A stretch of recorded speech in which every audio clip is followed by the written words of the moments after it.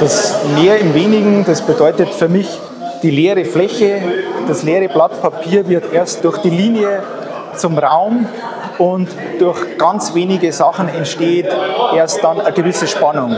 Und bis ich dahin gekommen bin, das dauerte etliche Jahre. Ich habe zuerst mit mehr begonnen und über die Jahre wurde das immer weniger. Und diese wenigen Linien können für Begebenheiten, für Gefühle, für Menschen, äh, für einen Lebensweg stehen. Und das ist so meine Intention.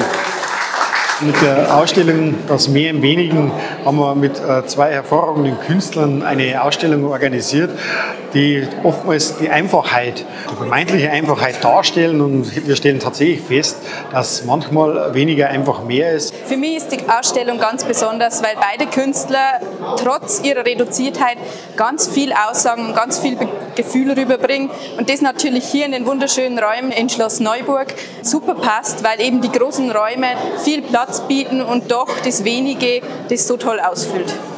Vordergründig könnte man meinen, viel ist viel, aber das Eigentliche ist die Essenz und die Essenz immer mehr einzukochen, immer mehr zu komprimieren, immer mehr auf das Wesentliche zu verdichten. Das ist das, was, was die Arbeiten auch ausmachen soll. Das Essentielle an meiner Arbeit ist eben, dass ich mit dem Material eng zusammenarbeite, dass ich mit dem Material freundschaftlich umgehe und dass ich immer versuche, mit dem äh, Material einen Dialog herzustellen. Wenn mir das gelingt, dann ist das Material mein Freund und dann schenkt es mir aus seiner Natürlichkeit heraus Formen, die ich selber nie schaffen könnte.